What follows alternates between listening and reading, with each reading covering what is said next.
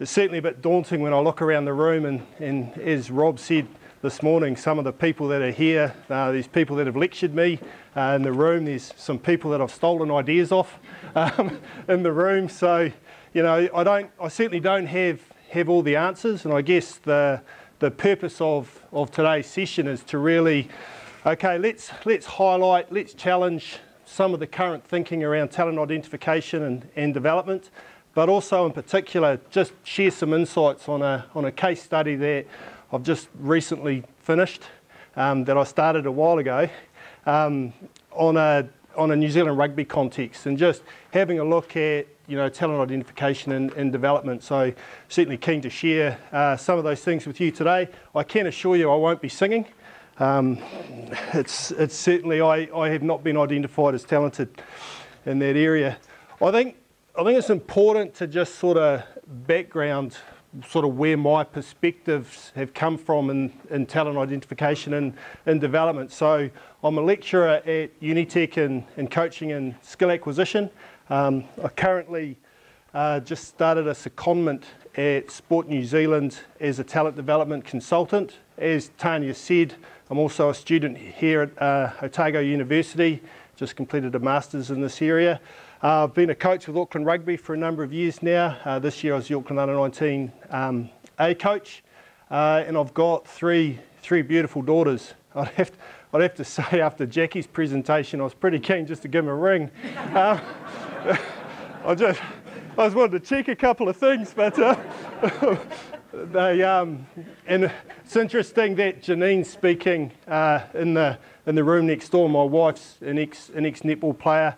Um, I'm around six three. She's she's just under six six foot, and Netball New Zealand have the Hunt for Height project on at the moment. And you know, my my eldest there, Emma, she's she's fairly tall, so I was sort of hoping to to sort of see if we could get some early ID on on on these two. And for those of you that understand the the relative age effect, I think I've done quite well with these two. Um, born in March, uh, got got even better with the middle one, born in born in February. Uh, missed my timing a little bit with Jess, it's October. Um, however, I'm working pretty hard on her, on her characteristics and, a bit of grit and determination, so hopefully we can, we can get her over the line somewhere. I think, it, I think it's really important when we look at talent identification and development and to just highlight the reality of the space that we work in. Um, it is pretty messy, it's pretty muddy, and it's pretty dynamic. And talent involves a number of different dimensions and, and a number of different interactions of a number of different sort of areas. Um, and I often, uh, you might have heard this, this story before from, uh, from Robin Jones when he talks about coaching's like holding a bird. And if we hold the bird too loose, well, the bird's just going to fly away. If we hold the bird too tight, well, we're going to crush it. But regardless of whether we hold the bird just right, too loose or too tight, we will end up with shit on our hands. And it's, I think that's, that's a reality of, of the space that, that, that we work in. Um, however, I don't think that's an excuse to not, and I guess using the, the theme of the conference, I don't think it's an excuse to strive for excellence. How can we strive for excellence around the identification and the development, of, in particular, of, of our youth? So, what do we want?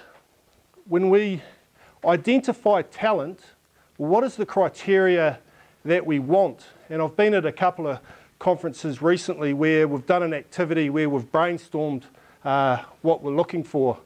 I'm a little bit tighter on time, so I've done that for you. Um, I think it's fair to say that we're looking at a number of technical skills, uh, technical qualities, decision making, and then we've got our, our physical attributes. And then we've got more of our behaviour or our character traits. And it came out in Rob's presentation this morning the importance of work ethic, you know, coachability, leadership, resilience, commitment. Are they motivated? Um, do they persevere? Are they a team person? Are they self reliant? Now, obviously, this, this list isn't exhaustive, um, and I'm sure there's things that I've missed, and there's things that you might argue shouldn't be up there. But I think at the moment we are reasonably clear about what we want. uh, and there's quite a bit of data or quite a bit of evidence that supports in particular these attributes here and the importance of these attributes and the development of these attributes to be high performing athletes. And there's a range of, of literature and stories around that. New Zealand rugby's been fairly clear for a while around the behaviour and the character piece. Uh, one quote from my research is, you know, we don't want dickheads.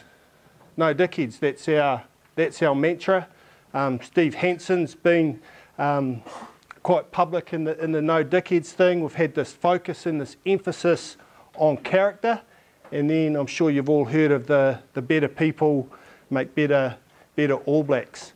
And this came through very strongly in, in my case study that a real emphasis on behaviour, a real emphasis on character, um, and the importance of those things and the link to on field performance and the ability to engage and the ability to train, um, etc.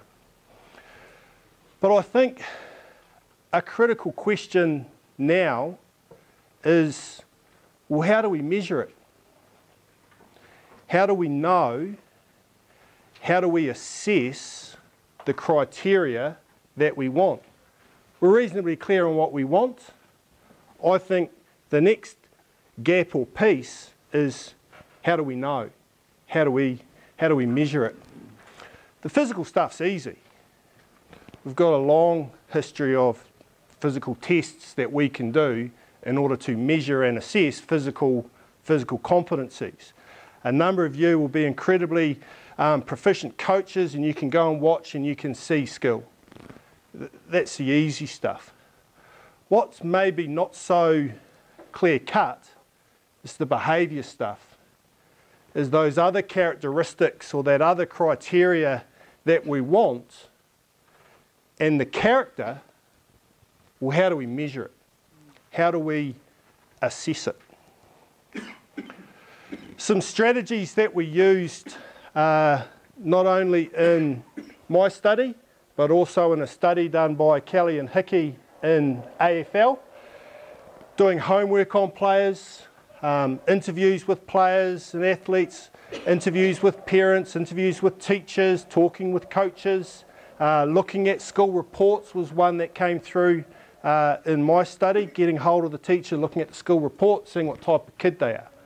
Um, going and visiting them in their home are all strategies that came through. One thing that was quite interesting in the Australian study was that when they did home visits, they went and had a look at the player's bedroom and made an assessment of the player's bedroom as to whether they exhibited certain behaviour traits or not. This is uh, an Otago student's bedroom. I'll let you decide whether you think that exhibits talent um, or not. Uh, this is my middle daughter, Georgia, and this big trophy here is the Revan Naidu trophy.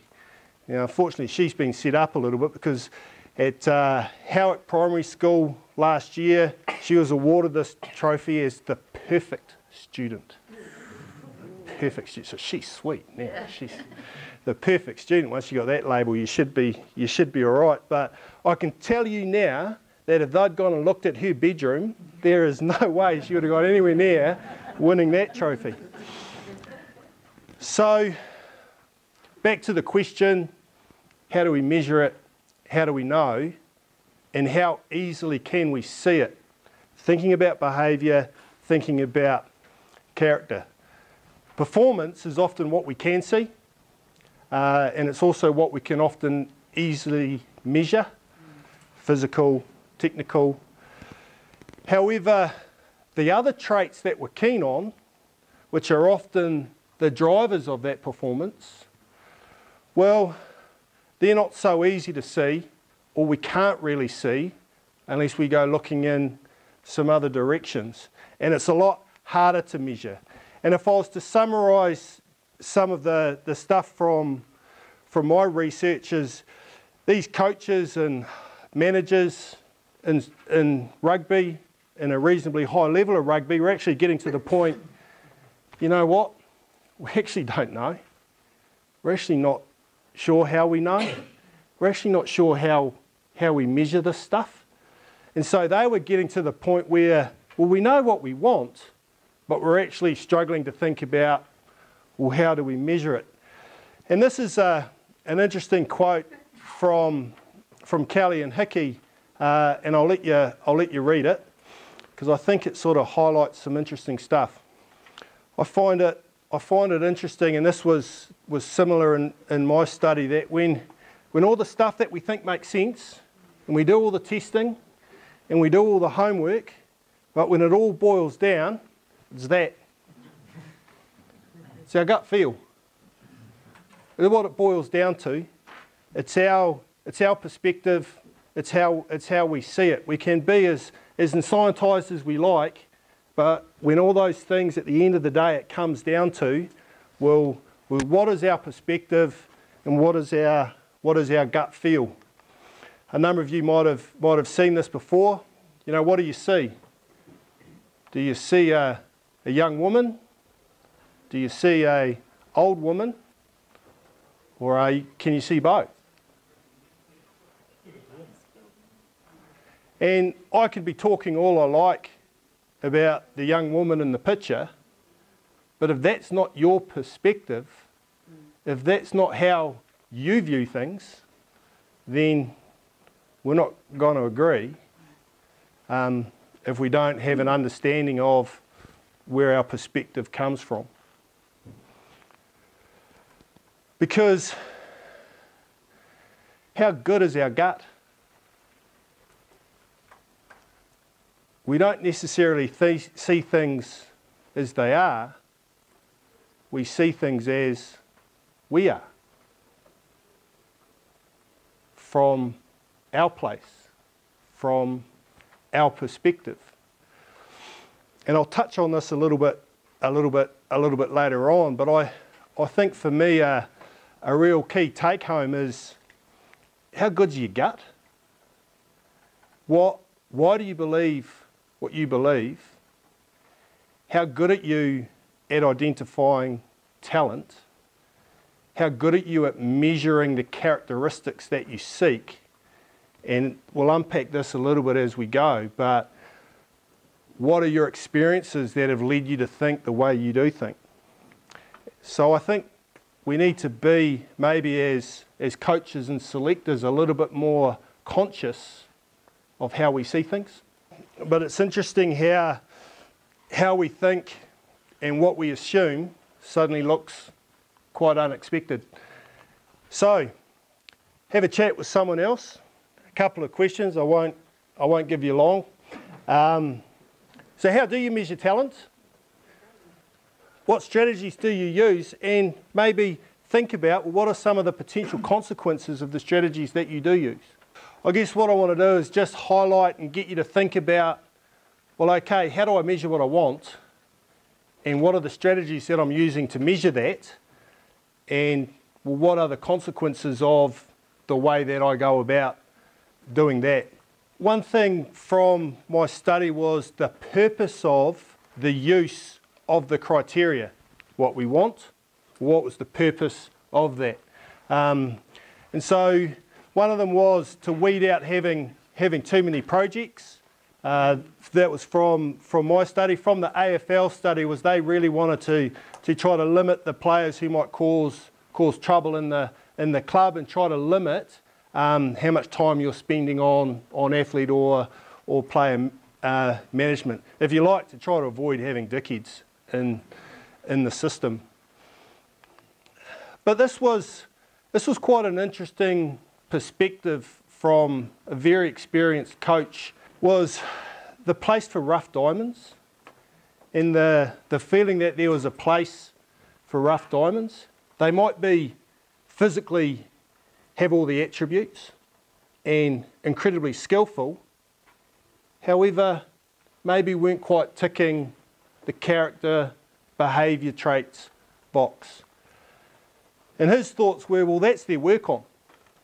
That's their area of development. I sometimes wonder with this push around behaviour, character whether we're expecting the finished product at the start.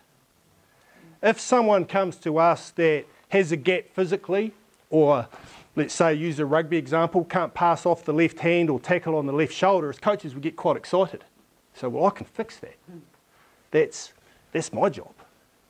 But if they're not good at communicating, they don't turn up a couple of times, they maybe drink a little bit too much or whatever it might be, we sort of go, no, we cut that. We're not selecting that. That's poor character. So it was an interesting perspective because his thoughts were, well, you develop them, and then what an awesome diamond they might turn out to be. Um, and so it was, it was interesting, sort of his perspective was a little bit different on the, on the character and the, and the behaviour stuff. So his, his big point was understanding them, understanding well, what's their upbringing, what's their background, what's, what's their environment, understanding why certain things or you know why they maybe hadn't had the opportunity to develop certain characteristics and behaviours. What maybe were the gaps in their life and we'll take this a step further in a minute. And so he talked about how he felt he'd had quite a privileged upbringing. His father was a lawyer, grew up in, in quite a, a privileged area, um, and he felt a massive responsibility as a coach to try to understand different backgrounds, different experiences, and how that had shaped their development.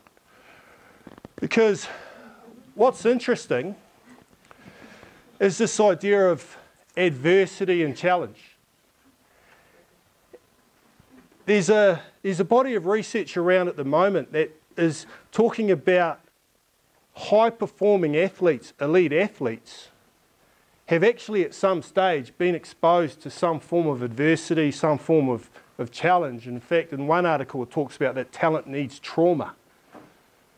And so Rob touched on it a little bit this morning about you know how you cope with and the skills that you develop through going through adversity and challenge. But I think this leads to an interesting point for me is when we are assessing, let's say when we are selecting, when we are making judgments on athletes, what if they're going through tough times? And what if those tough times are creating quite a bit of adversity and challenge. And as a result of that, it's exhibiting in some fairly poor behaviour that we, from our perspective, go, that's poor character. And so this is an interesting one when we think about assessment, our snapshots of assessment, understanding what's what's behind the scenes, what's the, the bottom of the iceberg that we can't see, and how is that impacting on, but also knowing that a degree of adversity and challenge is actually important for future success. And so again, a key, a key question for me is, do we understand how the behaviours that we want are actually developed through life experience?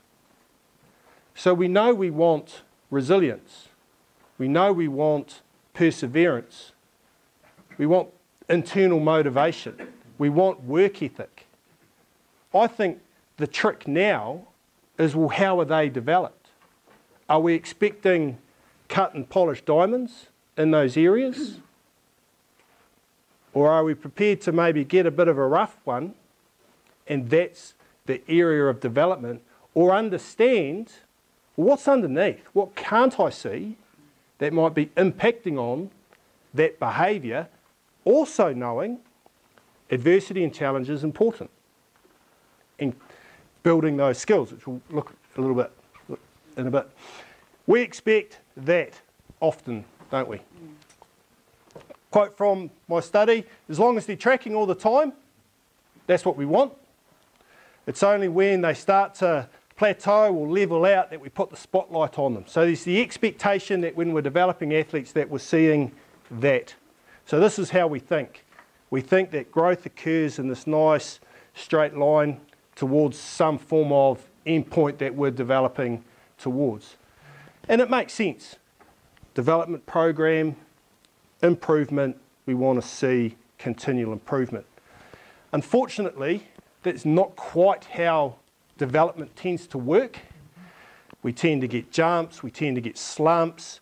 Um, development is far more dynamic, it's far more rockier than a nice straight, straight trajectory. In fact, those of you that deal with teenagers will attest to, um, there is quite a bit of instability in, in youth. We see a lot of range, we see a lot of sort of a roller coaster ride, and so development is actually quite unstable. There's some fairly clear unstable times through, in particular, a young person's development. But what's interesting is if we expect that, but that's taking place, but what's also interesting is those unstable times are actually critical to improvement. We need to be unstable to get better. Athletes need a degree of instability, level of stability, instability, level of stability, shake that cage again, level of it, in quite a, a dynamic way. Which then sort of, you know, there's two choices, two paths to take. One is easy, the only reward is that it's, it's easy. A smooth, clear, easy pathway is actually not the best pathway. And again, some research is supporting that if challenge and adversity is important, too easy a pathway is actually problematic. But then the question is, are we guilty of actually making it too easy and actually providing too much support? Right, let's, let's give them some S&C, sorry, we'll, let's give them some nutrition, um, you know, give them more coaching, hold their hand just that little bit more? And is, are we guilty of actually making it too smooth and too easy? So I've already talked about the importance of adversity. And so I think maybe a, a good thing for us is to think about, well, okay, how can I as a coach optimize challenge? Now, this isn't about creating trauma for the sake of creating trauma. This is understanding the unstable times. And this is how can we create some challenge, put them through that challenge, and then debrief the challenge? How can we help them learn the skills and the attributes that we know are important? Coping with setbacks, coping with pressure, being self reliant, persevering through hard times. And so rather than smooth it out and make the pathway quite, quite clear and easy, create a bit of challenge and how do we, how do we go about creating that challenge. Right, so another quick chat to your neighbour. How do you monitor athletes during development? Maybe think about, well, what do you monitor? How do you support them during unstable times? And how can we create challenge? Just another interesting thing um, in the literature, but that came through in, in my study is this desire to win, and in particular to win at age group level. So we want to win age groups, under 16s, under 18s, under 19s, under 20s, whatever, whatever level you like. But then in the same breath, well, we also want to develop for the future. So we have winning, we want to win, and we want to develop for the future. Well, what's interesting is there's some thoughts that you can't actually have both. It's hard to have your cake and, and eat it. But maybe if we take it to the next level, if a focus on one, what impact does it have on, on the other? And so again, this was something that the participants in my study were starting to grapple with. Well, okay, players can win a game for us now. Well, that's the here and now. We'll select them to win a game now. We also want to develop them for the future, but what they're realising is that they're actually not the ones that they're using in the future. And so there's this sort of, well, how do we get a balance between the importance of competition the role that winning plays in development, and then appropriate development. And it's interesting now that some research is suggesting that organisations sacrifice winning at age group levels to ensure appropriate development for future success. Because we assume that junior success will translate to senior success. It's one of our big assumptions is that performance at an age group level can be transferred to performance at a senior level. Unfortunately, the nature of development, unfortunately, how they might perform at that level, or whether that pathway is nice and smooth, I win here, win there. Not a lot of research supports this, the transition from junior success to, to senior success. And again, sort of some of the some of the reasons for that. This is under nine league. This idea of the early developer versus the late developer, or if you're, you're on time, whatever that means. Right, it's about now. Um, and often when we select with the mindset to win at age group level, we're far more likely to select early developers. Bigger, taller, faster, stronger. A study done in the UK in rugby league um, basically confirmed that coaches picked the bigger players when they were picking age group sides. However, there wasn't a lot of transition from age group sides to senior sides. Because often, when everything evens out, they can't necessarily maintain that advantage when, every, when development finishes and everything sort of evens out in the, in the long run. Well, I thought this was worth throwing in this idea of leave your, your ego at the door, and someone else mentioned it this morning, um, and it came up twice by two different people. In fact, I think one of them might be in the room um, around the role of ego. Uh, in martial arts, it's a common saying to leave your ego at the door. If you want to get better, you can't bring your ego in to the training environment. You cannot expect to win in every session. Um, Brown, the, the idea of belts in martial arts, the colours are all a new fancy thing to try to make a little bit of money, but it used to be you'd have a white belt and you never washed it, and as you trained, over time, it would get so dirty, it would turn black. But then what's also interesting is as you keep training, it starts to fray and actually becomes white again. And they talk in martial arts that once you get your black belt, well, that's good. You're now a serious beginner. You've trained long enough now, now you can actually learn something. And it's interesting this idea of, of leaving the ego at the door, and I, I think it's a great message that I, I wanted to support is that maybe we need to leave our ego at the door of athlete development. It's the athlete's needs that are important, maybe not so much ours.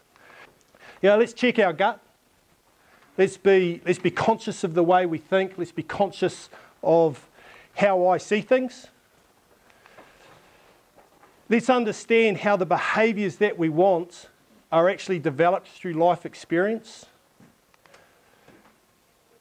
Let's make a real effort to help athletes deal with the unstable times, and if they aren't experiencing unstable times, create some. Let's see if we can balance winning with a longer term development focus. And let's leave our ego at the door. Yes, I'm done. Look at that. That's not, oh, not